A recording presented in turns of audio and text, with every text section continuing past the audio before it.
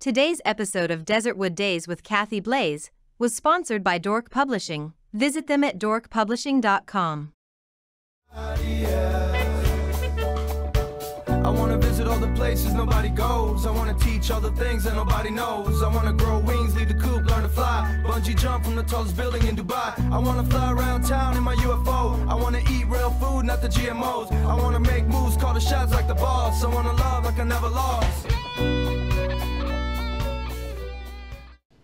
Welcome back to Desertwood DaZe, and I am your host, Kathy Blaze. Today's guest is a serial entrepreneur. Why don't we welcome Miss Keisha McGee? Hello there. Hi there, Kathy. Nice to finally meet you. Yeah, such a pleasure. Likewise. Great. Don't you look beautiful today? Thank you. You as well. Love the pearls. Thank you, thank you. So, Keisha, you're right. This is actually my first time meeting you in person. I've seen you all over social media, and um, I was referred to you by one of our previous guests, Yes. Mr. TJ Super. Yes. He's an awesome guy. I know he does a lot in the community, Yes, he does. but you also do a lot in the community as Yes, well. So that's why. I'm so happy to have you here so we can talk about some of those things. Awesome. So, but what I'd like to um, do first, Keisha, is learn a little bit about who you are as a person before we get started into all the business side, okay? Okay. Where are you originally from? Chicago. Okay, Yes. okay. So, what brought you to Arizona? Um, it's cold. Chicago. Um, the cost of living was pretty expensive at that time, but AZ is slowly catching up yes, it is. Yes, it is. Um, so yeah, that's what that's what brought me. And plus, I was at, at a crossroad in my life, and I wanted something different. I understand that. There's nothing wrong with that, especially when you're a serial entrepreneur. I mean, changes and things that's going on in your life and your business. So that's a great reason to make a change in your environment as well. A new start. Absolutely. So- Keisha, how would you describe yourself? You're an entrepreneur, but um, tell us what is it that you do? How, what do you, how do you want others to see you? What What do you do in our community? So, what I am trained and skilled to do is massage therapy. Okay. That's my my first love. Um, it's a trade that basically got me out of poverty Mm. and put me in a a stable, a financially stable position in my life. And it's an avenue that I'm using um, or utilizing to to create um, events for my nonprofit. Okay. Okay. So whatever I do, I'm going to incorporate health and wellness into it as well. Okay. What was it that got you into that field? I, I can tell you, I remember when I first started uh, working my first JOB, I thought I wanted to be a nurse until I got into that field Mhm. and realized that really wasn't the piece that I loved. I loved doing the managerial, the technical type stuff. What was it that got you into the health and wellness section? It was actually by accident, um, or just divine intervention. Um, but I was actually going to school to pursue personal training at first. Okay. um, still into like health um, and fitness. And all of the classes were filled up. Massage therapy was the only class that was available. And I'm the type of person if if I'm in a, a phase of struggle in my life and I don't know what I want to do, I'll I'll take some type of class, some type of training, you know, um, to get myself motivated again. Right. And so pursuing that was to motivate me um, when I was in that current situation I was in. And so luckily massage therapy was um, what was what was available at the time. Well, you know what? We love what you do as a massage therapist, especially being in the entertainment field. I mean, I was looking at something the other day, and um, one of the celebrities they were talking about their massage therapist. So we love what you do. I know Thank I you. do. So thank you. but I know you also do events here in Arizona. Mhm. What was it that initiated that? Did you see that there was a need for the type of events that you were doing? You know, a lot of times when I create events, it it comes to me in a dream. Mm. It really does. Like, what is the, um, like when I saw the movie, um, with the the railroad lady. I keep Oh, forgetting Harriet? Harriet Oh. Tubman. Oh my goodness. I am African American. That's okay. it just came to mind. Harriet Tubman. Like when I saw that scene about she's saying that, you know, a lot of what she wanted to do came into a dream. Mm, I was like, wow, I when I think about something and I dream about it, I I take action Mm. and I actually manifest it. And so one of my most successful events was the Black Excellence Awards. okay. And it was for Black History Month. Uh-huh. Um, and I just started researching a, a lot of um, inventors, a, a lot of um, African American and influencers at that time, and I, I was just so in love with Black history. I love that. And I love that your that is your focus, that genre. Mhm. Because you know, there's so many things going on where that information is being taken out of schools and, and other areas. So I love that we as people are taking the initiative upon ourselves to spread that knowledge. Yeah, it was a very informative um, event full of knowledge about African American history. I was so proud of that event. Congratulations, Thank you. congratulations. And I know that you had I, don't- you you did you complete the the you did the no, it's the new one. You have a new event coming. Oh, For yeah. Father's Day we were talking about it. yeah, yeah. It was the Fathers of Music Awards. Yes, yes, yes, yeah. yeah. I, I just wanted to do something special for Father's Day. Um, at the time when I was looking for venues, everything was all booked up. And well, the venue that I wanted to do it at, because I wanted to go all out and everything. Thank God, because I was like, oh my God, that would have been a lot of money.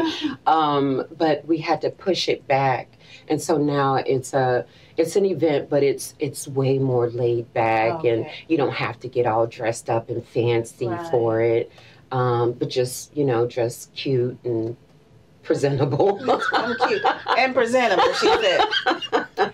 But, but I and I also want to talk about this about this event that you're just talking about because we were speaking on this the other day, and you mentioned about you not you didn't have a father in your life, so I I love that even though you didn't have that father figure. You're representing and recognizing those fathers that are in your life Mhm. or that's out there in the community. You're seeing the great job that they're doing as fathers. I love that you're doing that. Um, tell us how that how does that make you feel, and, and how do they feel? I mean, Well, when I first told you about that, I was, I don't, I'm not sure if you saw the emotion in my face, because that's a. I didn't even think I was gonna cry. that's good. That's that, those are good tears. Yeah, It's all good. I didn't even think I was gonna get this emotional about it. But yeah, it's just like I just, I admire the fathers that are out there that's actually taking care of their children and showing them that love and that guidance. Um, so I just wanted to do something nice I to acknowledge them. Right, right. I hear a lot that, you know, Well, we don't you acknowledge the well, fathers. you know, enough. we we talk about mothers all the time right, and yeah, mothers. we're the Day. best. Yes, we are, but you know what? We're only half of the equation there. Yeah, We have to recognize our fathers if we want them to be in the picture true, and true. to be uh, a support system for their children or children, other Mhm. children, because it's not always your child. we're mentoring other children as well. Yes, Absolutely. So I love that you did. Is so is this going to be an annual event, you think? You know, I I really want it to be. Um, it's something that um, I hope will um, develop into something much greater. So I'm I'm just gonna go with the flow with the first event, see how everything turns out, see if people are touched and moved by it, and you know want to continue to participate in it. Because I, when I thought about it, um, TJ Super was the was the first person, and I was like, because at first it was the fathers of hip hop, but then I wanted to diversify the genre, and so now it's fathers of music like so that way I can incorporate um, a lot of different um, international music right, into it. right, right. Yeah. I love that, and I hope that you do make it an annual event. We have to keep representing for the fathers out Yes, there. absolutely. You were stating that um, you changed the name to so that it's more international. You're not just making it a hip hop Mhm. and leaving other genres out. So, what was it that triggered that? What triggered that is I know artists that um, are in those different genres. Mm. um, and I wanted to make sure I represent them. So I know um, a Jamaican artist and DJ, um, Gentile Outlaw, Uh huh. is one of the nominees. Also, um, DJ Frost, both Okay. from Jamaica. Okay. Um, Young Flame is an Afrobeat artist, Ah. Um, and also DJ Fabio, which is from, let me get it correct, Cameroon. Okay. Okay. So you just wanted to make sure that you're yes. in. It's about fathers, no matter what type of music. If it's country music, they're fathers. Right, right. So I, I get what you're saying. So I know you brought some media today. Why don't we take a look at your media? awesome. So this is your um your flyer for the event. Yes. And, and it's okay. You want to talk a little bit about this? I met uh, Gentile at a at an event, and I I just felt like he was so talented. Um, and so I started to like introduce him to a lot of like um, promoters that I know out here. Okay. um, that are involved in the AZ Car- uh, Caribbean Festival, um, just so he can, you know, just bless people with his talent. Um, very talented Mm. artist. and that's what it's about, getting out there connecting. Yeah, Okay. and of course, Super. Mr. Super there. yeah, he he is definitely the inspiration behind this. Yeah, the first person I contacted when we brainstormed about it, I started to get tingles in my scalp. Like I'm like, oh my god, this is gonna be amazing, be- just because of his presence. Oh, Okay. Yes. And Young Flame, I just recently met him. I think he's with Black Star Entertainment. Um, now he's going solo, doing his own thing. Okay. Um, I liked his uh, song VIP, and I was like, "Can you sing that at the first annual Fathers Awards?" And he was like, "Yeah." Hmm. I love that picture of him in that white suit. I know. And that's DJ Frost from Okay. Jamaica. Um, and his story is so touching to me as far as he just recently lost his dad. Oh. Um, and so I like I I had a like a lineup of people and then I was like, DJ Frost, like he would be great be perfect. For you know, yeah. he would be perfect because it, you know, we just need that support, you know, from each other when we're going course. through something because it's still so fresh. It's not like it's a year ago. Right. This is like a couple of months ago, and so I wanted to include him in in the event. Right. Yeah. Your event is scheduled for Saturday, July 29th, Yes. and it's at the Egyptian Motor Hotel. Yes. Okay. So when selecting the hotel and is there was there a certain reason why you selected that hotel? no, Um, because I know I've done events before, and I, you know we usually select a venue for a specific reason. Yeah, yeah. Um, I think it Dwayne Yokley is the one who introduced me to that spot Oh, okay. because he had an event going on. He's a um, a house. Uh, Um, they do the house music. Yeah, Okay. yeah. I don't know what that title. I- I, I, don't know. know. They're DJs. yeah, he he does house music events, and he's from Chicago as Oh, okay. well. And so um, he told me about it because I was I was really looking for something like really fancy. Oh, okay. You know, um, like I said, God works in mysterious And ways. this is and then this is probably something that's perfect for what they do. They're Right. comfortable and familiar with this Right. location. So the event is Saturday, July 29th. It's an all-white pool party. yes. Can you tell us a little bit about that? Um, what what what your what your audience um your peop your people what are they gonna what can they expect from that day? Well, from that day, the lineup um, will be DJ Frost. He'll be spinning Afro beats, reggae um, music because we're trying to give the whole beach um, tropical island theme Okay. for the event. Um, and I just wanted to color coordinate it because I think it looks really nice on in photos. Um, so he'll be performing um, Gentile the Outlaw and Young Flame, but that's for the all white party. Okay. We also will have um, an awards ceremony. That's all in one day. It's Oh, it's a okay. day. Okay. we try to do it big over here. so yeah, so the all black uh, ceremony is from um, I think seven thirty to ten thirty. So that's when we'll be um, giving out the awards, and all the nominees will give a speech and um, a performance, and we'll all toast out the evening. okay. So they'll they'll be there at the pool party. Mhm. Then they to go take their go somewhere and change and I've get ready seen it before. People put clothes in their car so they can, you know, go to the next venue. Um, I remember I went to this um, Afrobeat party and it was an all day thing. I mean, people, I was like, where is everyone getting these clothes from?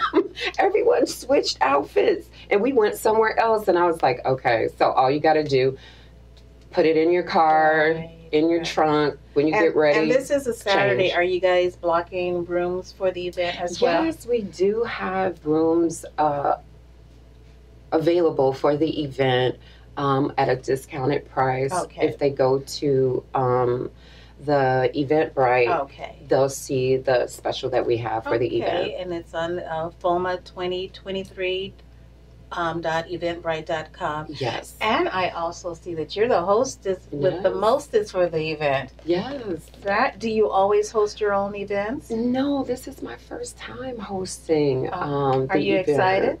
I am. And I wanted to ask you if you can host the evening event. Oh. Lord, we can The- we the- can talk about that offline. I was like, I'm gonna get her on camera. she you did. can't say no. Yeah, I, I just need another hostess, and I think uh, because you I know I can't be everything That and is do true. everything. And I see that you also have a fashion show. Yes. So tell yes. us a little bit about the fashion show. Is that going to be the fathers, some of the fathers, or who's going to be in the fashion segment? Um, you know, I wanted to mix it up and probably do like a swimsuit so, uh, Oh. showcase. Okay. Um, and of course, there will be, you know, men and women Okay. uh, swimwear in it. I mean, because it's so hot. Right. Who wants to be Yeah. in a fashion show and it's a hundred and That's true. Especially July outside. 29th. I know, but we had there's misters at the event, so it'll keep you nice and cool. Okay. Um, so yeah. okay. So, where can our audience um, find out more information on this event? Um, Do you have an event page on social media? Well, they can go to Eventbrite. Also, um, my social media is Queen of Massage AZ on Instagram, Okay. and um, the the Relaxation Bar AZ. Okay. Well, this is awesome, and I know you guys are going to have a great event. Yes. It looks like you have some very. I know TJ Super being a part, it's going to be Oh, a yeah. great event. Yeah. Okay. Oh, and um, Mega Ron will be performing as well. Took, and a couple of other more people that um, TJ suggested.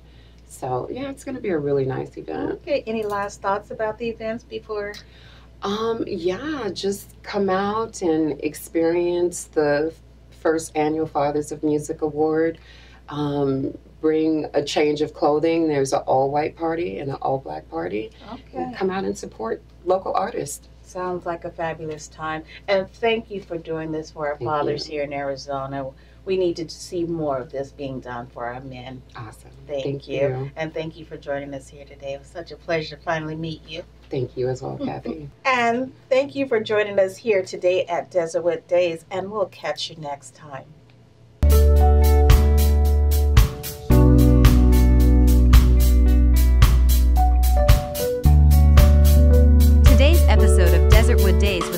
Blaze was sponsored by Dork Publishing. Visit them at dorkpublishing.com.